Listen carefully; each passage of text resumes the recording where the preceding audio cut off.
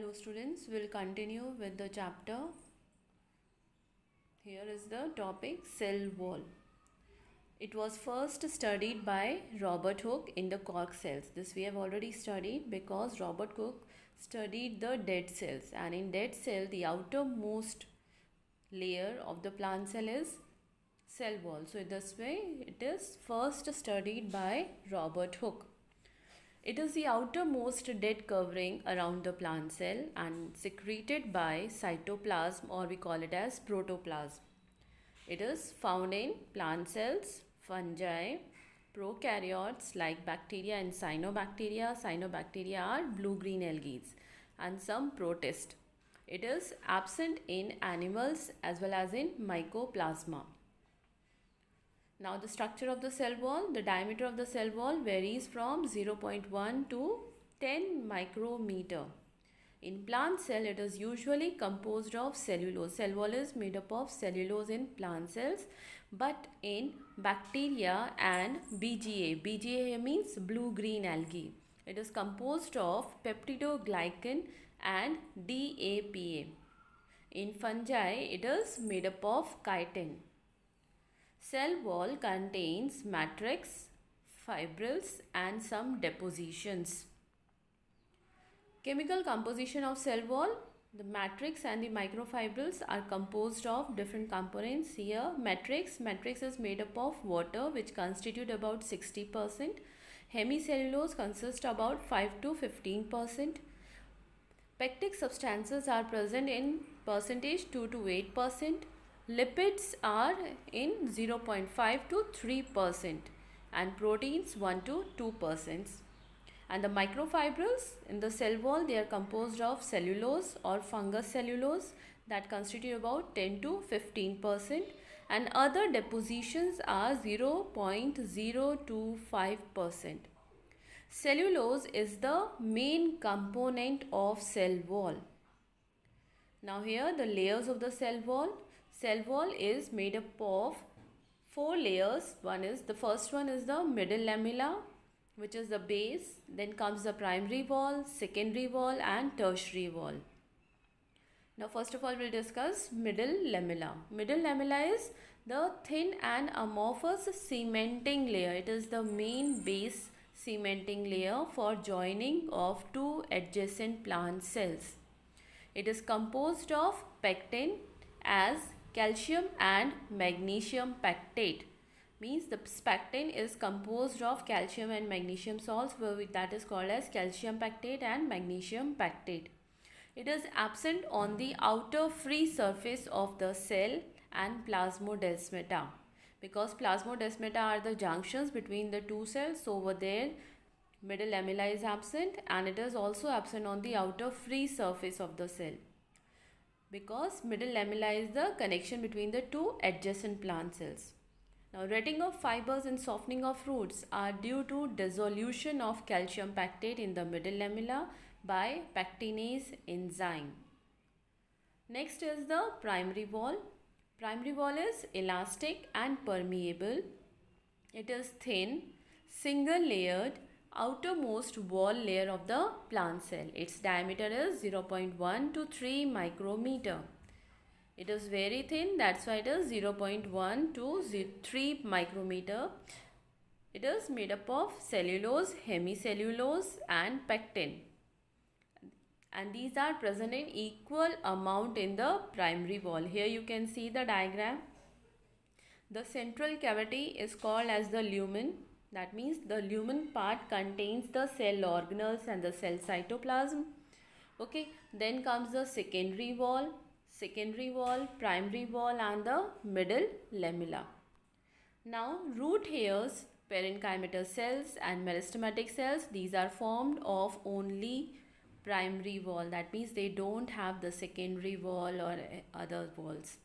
Its growth takes place by that is addition of materials within the existing wall.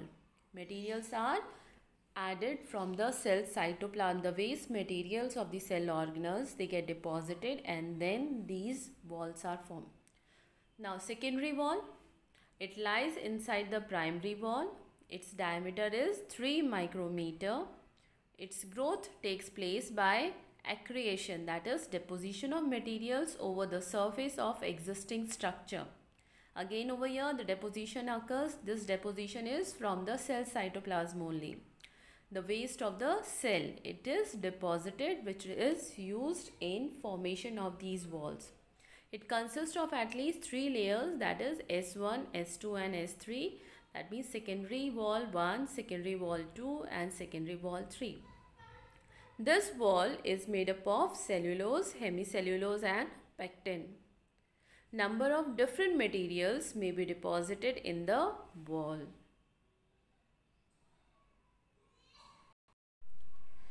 Next is lignin. It is formed by polymerization and dehydrogenation of aldehydes and alcohols of coniferyl and coumaryl. That means lignin deposition is there. It reduces the water content of the wall matrix and increases its hardness. The deposition of lignin on the cell wall is called as lignification and it provides strengthening to the cell wall. It provides stiffness to the cell wall. Next is the suberin. Suberin deposition occurs on the cell wall. It is a fatty substance that makes the wall impermeable. That means it makes the wall impermeable. That means does not allow the water to escape. Okay, so suberin is impermeable. It reduces the transpiration rate in plants. Hence, it prevents the water loss. It is found in the cork and Casparian strips of endodermal cells. The deposition of suberin is called suberization. Next comes the cutin. It lies it lies as a distinct layer on the outside of the epidermal cell wall. Cutin is present on the outside of the epidermal cell wall. It is a fatty substance that reduces the rate of epidermal or surface transpiration. That means Cutin is what? It is present on the outer surface of the epidermis.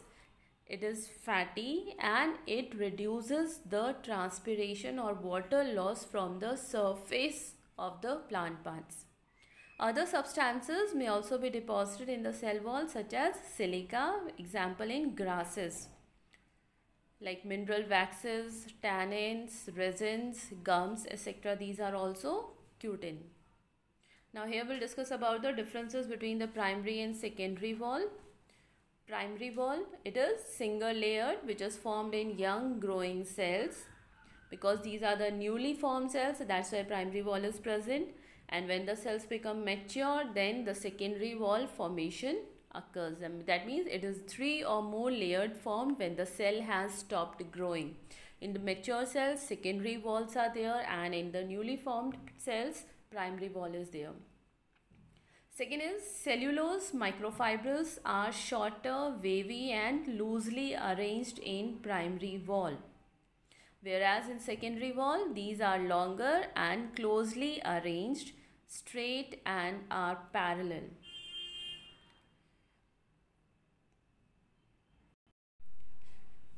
Cellulose content in primary wall is comparatively very low.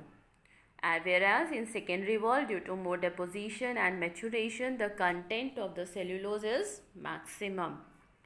Hemicellulose content in primary wall is up to 50% whereas in secondary wall it is about only 25%. In primary wall pits are usually absent. Pits are the depressions or the connections whereas in secondary wall pits are common. In primary wall it grows by intussusception whereas in secondary wall it grows by accretion.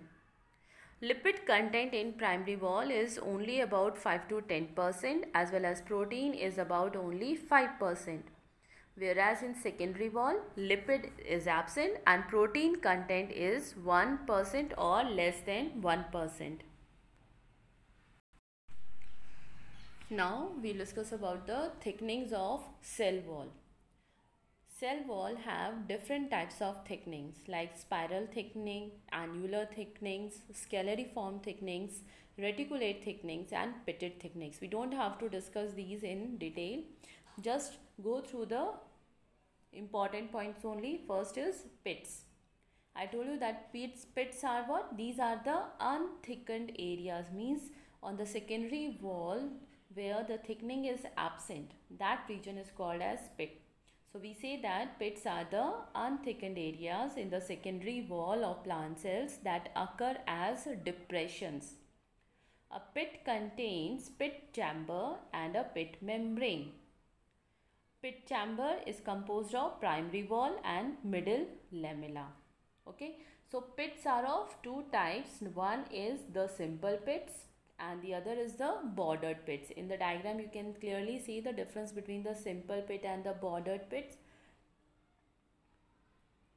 Simple pits. Simple pits bears uniform width of the pit chamber means the width of pit chamber is uniform whereas in bordered pits its chamber is flask shaped due to the overreaching of the secondary wall on its mouth.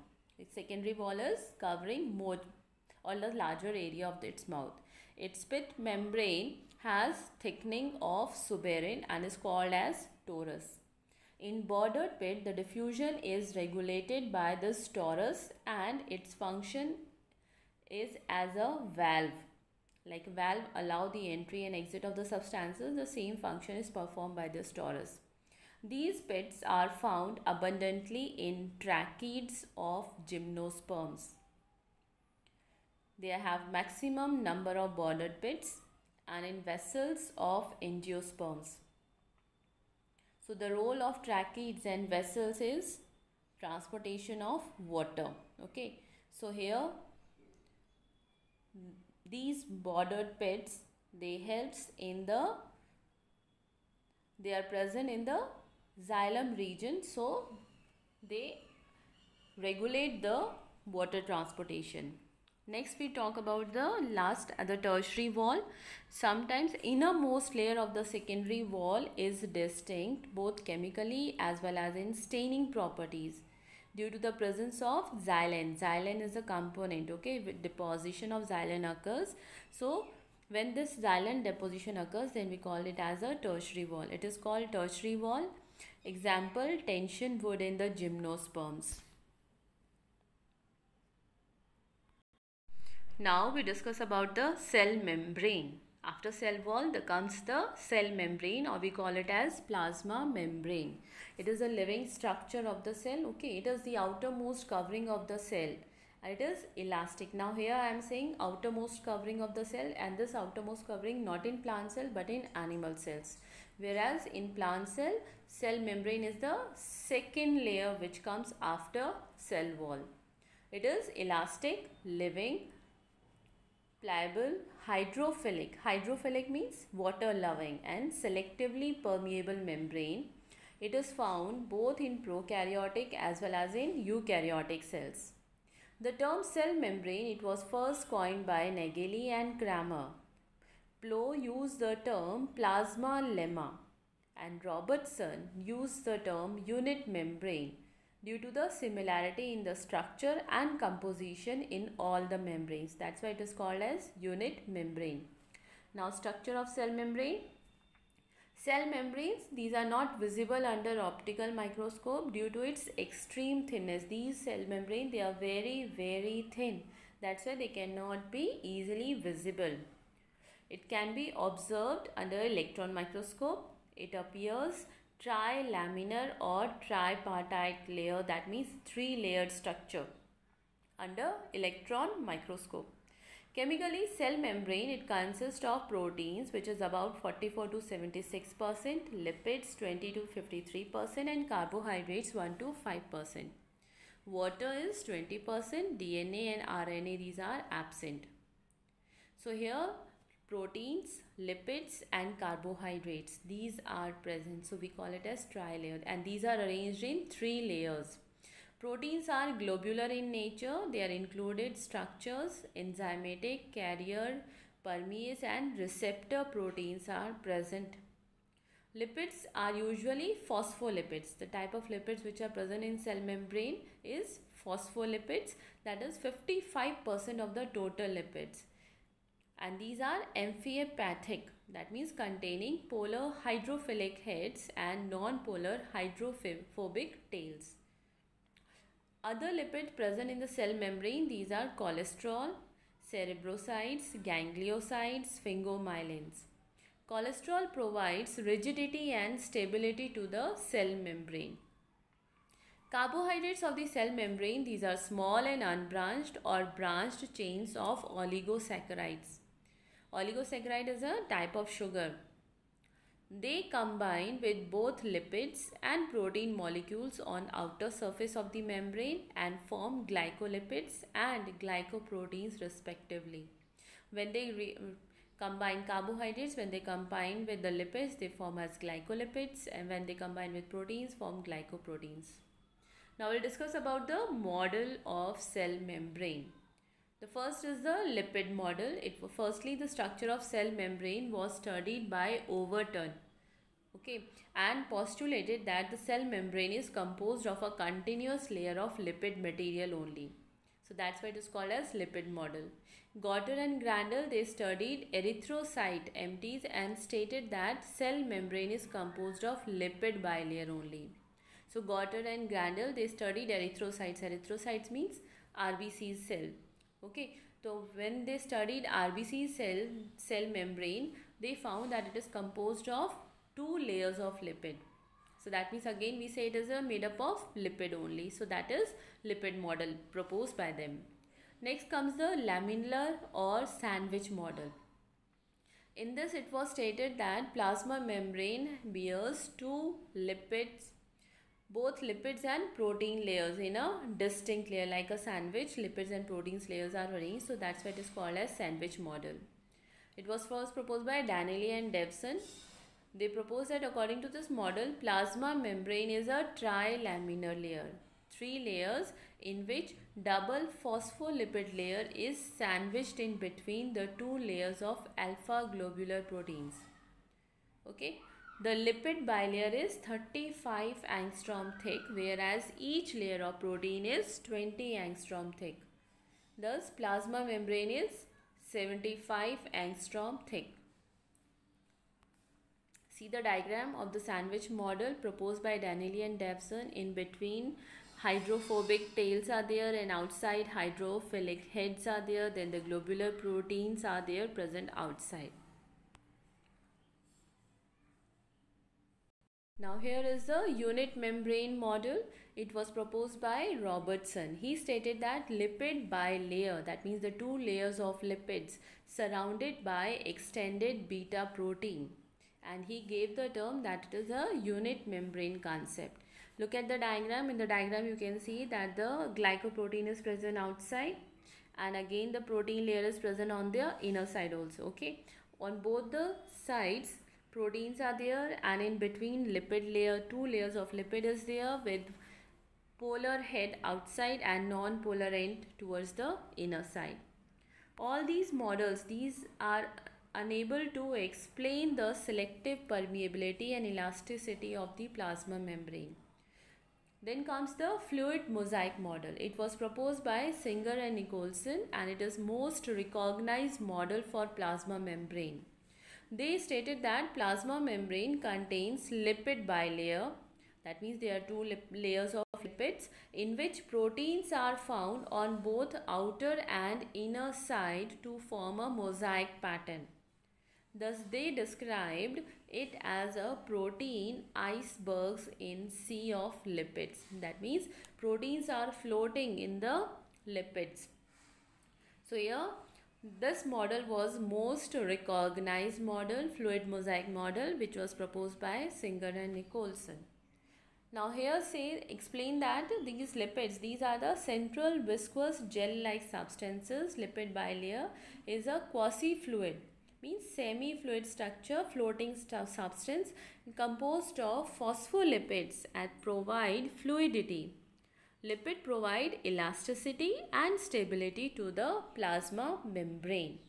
Then proteins which are present in the lipid bilayer, these are of two types arranged according to the arrangement. They are termed as external or extrinsic proteins it is the peripheral protein and constitute about 30% of the total protein. it can be easily removed.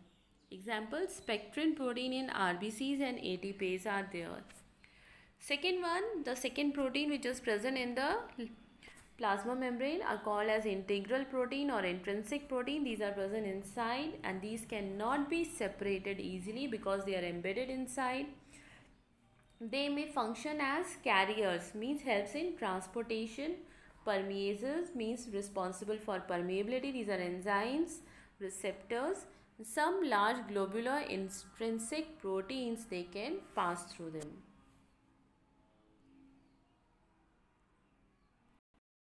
Now here we'll discuss about the some special points of cell membrane. Phospholipids usually show exchange of molecules from one monolayer that is from one single layer to the another layer of the other side and is called as flip-flop movement. Second, through in electrospin resonance okay? It is a process. It does reveal that flip-flop mechanism is absent in protein molecules. Protein and lipid both can show rotational and lateral diffusion in membrane. Eukaryotic plasma membrane it contains cholesterol but in prokaryotes hopanoids are present instead of cholesterol. That means cholesterol is absent in prokaryotes Spectrin is a helical extrinsic protein used to attach with the intrinsic proteins at the inner side of the membrane and it makes the cytoskeleton with microtubules and microfilaments. Porins are the intrinsic proteins. Just now we'll discuss about the intrinsic proteins present inside the plasma membrane. So porins are the intrinsic proteins. These are found in the outer mitochondrial and bacterial membrane. That means these proteins they are found in mitochondrial membrane as well as the bacterial membrane. Permease and translocase etc. These act as carriers for the transportation of the materials. Cell membrane is differential permeable membrane. Glycoproteins and glycolipids, they provide antigen specificity. That means this antigen, it recognizes the antigen. So that's why we say it is having antigen specificity. For example, RBC antigen, fertilizin, anti-fertilizin reactions. Fertilizin and anti-fertilizin reactions occurs between the gametes. Lipid provide fluidity, elasticity and stability and make growth, formation of cell junctions, cell division and endocytosis is made possible. Endocytosis means engulfing of the component which makes the content to enter inside the cell. Then fat soluble substances can channelize directly across the lipid layer Neutral solutes may move across the membrane by the process of simple diffusion along the concentration gradient that is from higher concentration to the lower concentration. Water may also move across this membrane from higher to lower concentration and movement of water occurs by diffusion. We call it also call it as osmosis.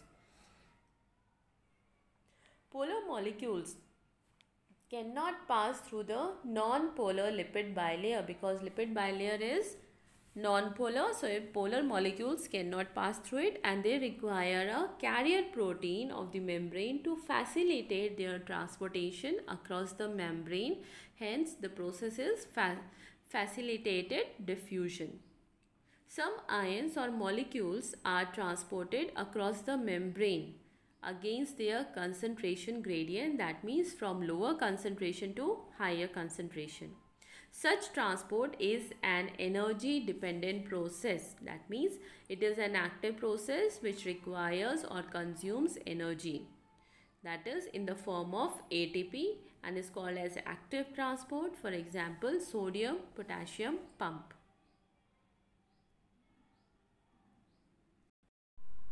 Now here we discuss about the functions of plasma membrane. Plasma membrane helps in the transportation. So cell membrane is considered as a selectively permeable membrane the passage of substances occurs across this biomembrane. We call it as biomembrane because this plasma membrane is a living structure. So it occurs by two methods. One is the active transport, the other is the passive transport and the third one is the bulk transport.